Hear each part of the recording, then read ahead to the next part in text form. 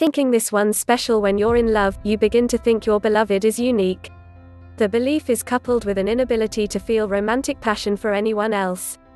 Fisher and her colleagues believe this single mindedness results from elevated levels of central dopamine, a chemical involved in attention and focus, in your brain. Emotional instability, as is well known, falling in love often leads to emotional and physiological instability. You bounce between exhilaration, euphoria, increased energy, sleeplessness, loss of appetite, trembling, a racing heart, and accelerated breathing, as well as anxiety, panic, and feelings of despair when your relationship suffers even the smallest setback. These mood swings parallel the behavior of drug addicts. And indeed, when in love, people are shown pictures of their loved ones, it fires up the same regions of the brain that activate when a drug addict takes a hit. Being in love, researchers say, is a form of addiction.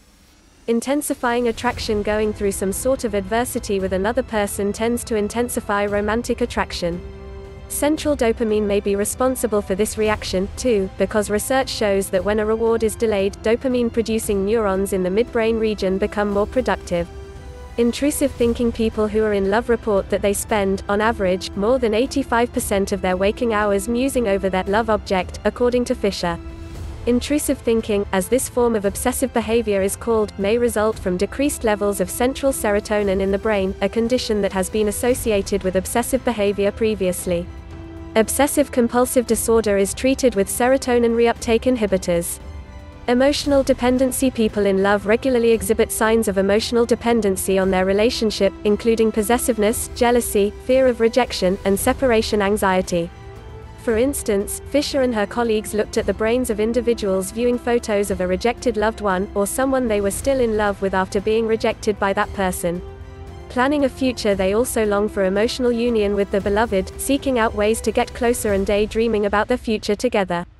Another love expert, Lucy Brown, a neuroscientist at the Albert Einstein College of Medicine in New York, says this drive to be with another person is sort of like our drive toward water and other things we need to survive.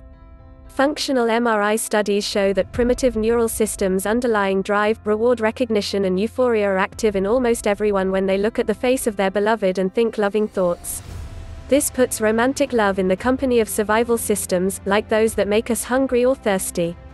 Feelings of empathy People who are in love generally feel a powerful sense of empathy toward the beloved, feeling the other person's pain as their own and being willing to sacrifice anything for the other person.